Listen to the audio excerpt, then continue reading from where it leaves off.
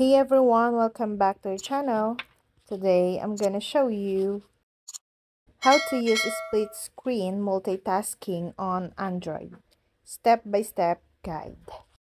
The increased screen real estate makes our smartphones, foldables, and tablets much more functional than ever. We can enjoy movies more easily, read books, and browse the web more comfortably.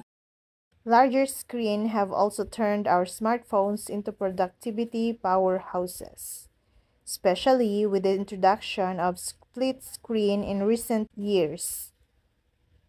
Today, I will teach you how to use a split screen on any Samsung device or Android device.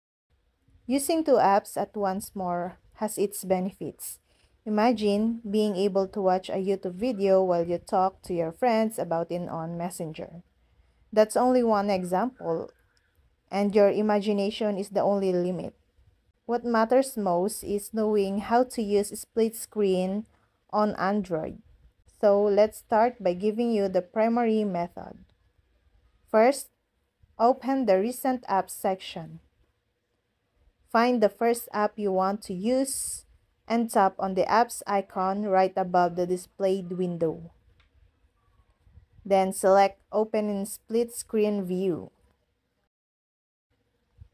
You can now select which app you want to use on the other half of the screen.